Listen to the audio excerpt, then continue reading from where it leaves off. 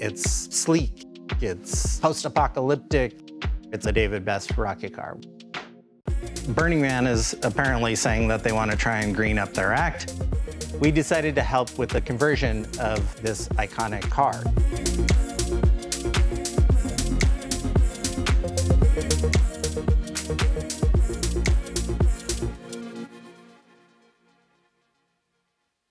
Hi, I'm Marcos Ramirez. Welcome to the Ruckus Ramirez channel. The first project on our channel is the electrification of the David Best rocket car. Well, here it is. It hasn't been running in a little bit. Ah, Burning Man. As of today, we have two months and some change. Why? Okay, let's load this thing. I've been involved in the electric vehicle space since 2009. I merged my world of cars and automotive stuff with this sense of knowing that gas needed to go away. Oh yeah. That's just gonna come right out of there. I've worked on all sorts of electric vehicle projects, including high profile projects like Simone's Truckla and many other things, including electric racing projects, electric motorcycle integration with platforms from Zero Motorcycles. I've worked with Adam Savage from Tested. I've been around Previously, there were no options for art cars other than to have a gas-guzzling car. So, for instance, this particular car, it's based on a 1979 Cadillac Seville. Oh yeah, look at that. Using a trailer we've never used before. Come to me. Yeah, there we go. Oh my God, she's a dusty. That can't be helpful. All right, go that way. Go that way, like I have any say. Originally, the steering wheel wasn't attached. It was rougher than I thought. All sorts of things were falling off of it. It was a mess. Okay, Uh, stop. it's- fancy piece of Do we want fancy piece of artwork Then here. we can build up some thickness here now. Oh my god, it smells like cat pee over here. Why do I keep lying in the cat pee? Oh, Dad, look at you. Oh, look at that. I knew it was going to be a mess, but you know, like many things in life, even when you think you know, it's oftentimes much worse than you originally thought. Oh. Burning Man is an annual art festival that happens out in the Nevada desert on Paiute and Shoshone land. And David Best is a very well known, acclaimed artist within the Burning Man community.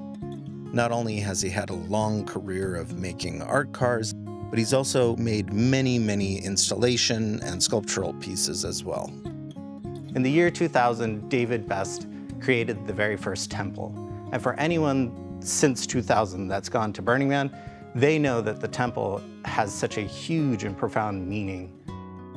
They'll know that the temple is an incredible space that really changes the whole sense of what happens at Burning Man the temples and what David did with the temples actually made Burning Man have meaning far beyond it had ever had before.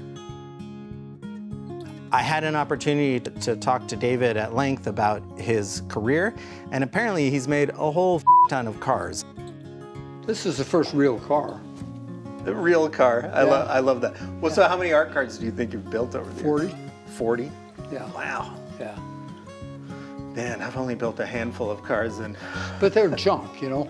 Somebody said, hey, does anybody want to do a conversion on a well-known uh, Burning Man car?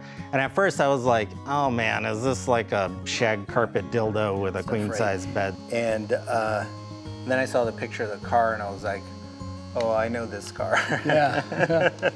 and I, I got excited about it, but I was also, I wanted to let you know, I mean, this was, That it um, means something. Burning Man during the pandemic said they would run out of money. And so this car was donated by David to Sotheby's to go to auction to make money at a fundraiser for Burning Man. It was right there on the edge of being a piece of art that was going to be lost with decades of really amazing moments that people have shared with this vehicle, amazing crews, all the people that have worked on this car.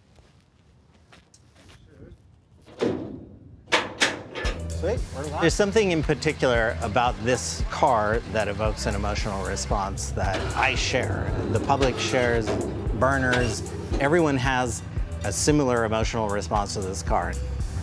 It looks like it's gonna be really easy to work on.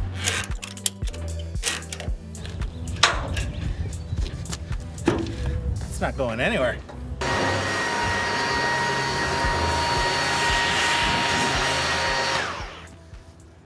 Okay, here we go up to Humboldt. Good luck. Thanks. yeah, we're gonna need it.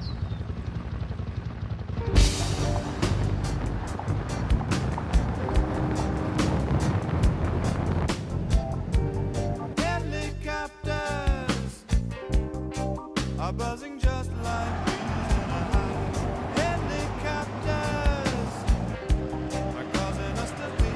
The trailer was not originally designed for hauling this vehicle. There are many things that we were worried about on the way up. always in sight. Day one. That was a day. That was a day. First day. We got it.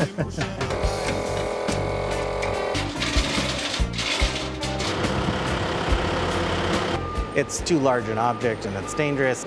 It's just cumbersome. This is a land yacht. That thing's been driving itself for years. Wait, other way. Let's let's leave it and let's uh dude, I'm super stressed about this project. Can we take a break and maybe go to the river or something? Yeah. Go.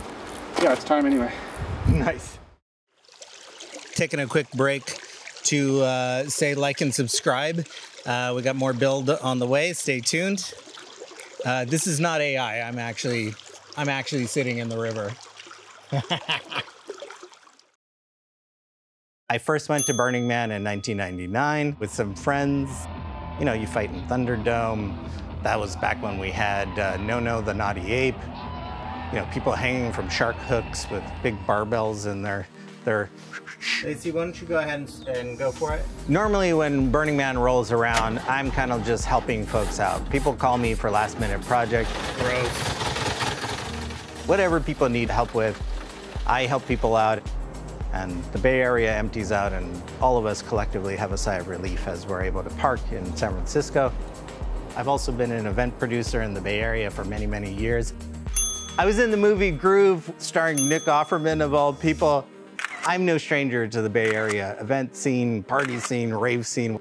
This is like part of my life, and it has been for decades. Almost all burners are ravers, but not all ravers are burners. And I probably fall into that latter camp. But Burning Man is all around us.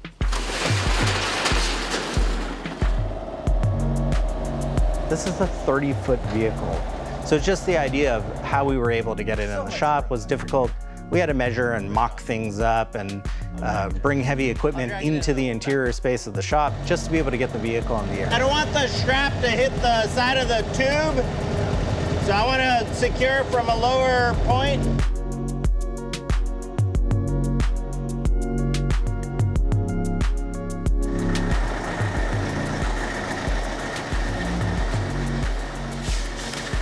How was that?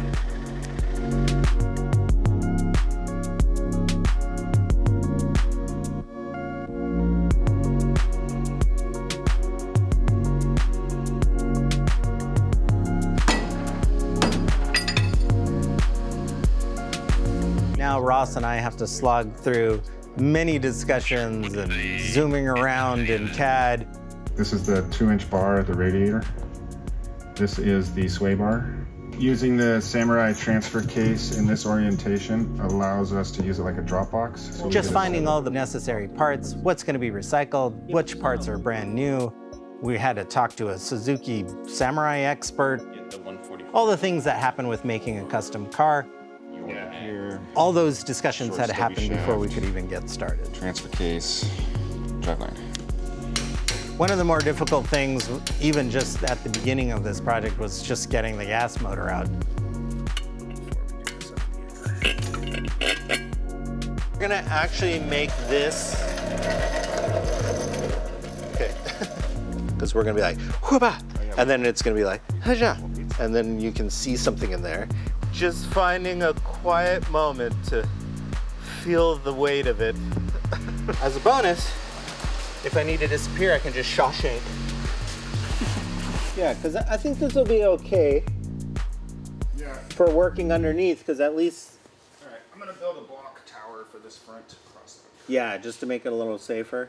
You know that thing I said two seconds ago about not being a dick and not having wanting to cut stuff off? But when you weld it directly to the car, I'm gonna have to cut it off. We then began the huge effort of tearing out all the original gas components. Weren't you making fun about my uh, catalytic converter? Right now, I'm just kind of looking around back here, but pulling brackets, we just pulled the exhaust off. It was a balance between tearing out the original Cadillac parts and preserving all the parts of the car that gave it charm. Um, I'm not a Cadillac expert. I have no idea. What is this? A 500? What's the, what is the, what were the Cadillac motors? I forget.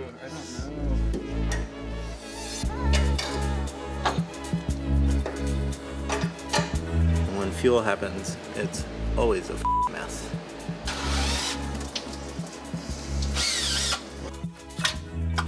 We got a problem here.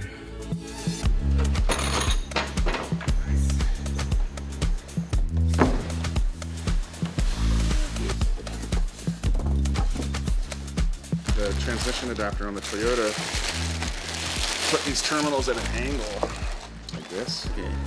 Is that the last bolt? Uh, no. Oh, I didn't order the parts, Marcos. They're not coming. What are we even doing here? We're in a confined space in a small shop. We had to use a great awl with an extension on a boom to pull the, the engine out. I like how I like how you can stop, you can jump on the back and it.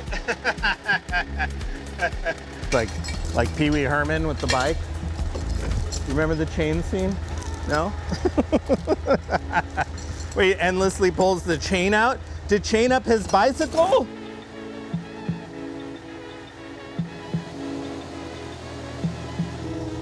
Oh God, it's gross. Now we have to do everything else. but the motor's out. Uh, take take this shit outside. We just wrapped up episode one. Please like and subscribe and join us for episode two coming shortly. More rocket car to come.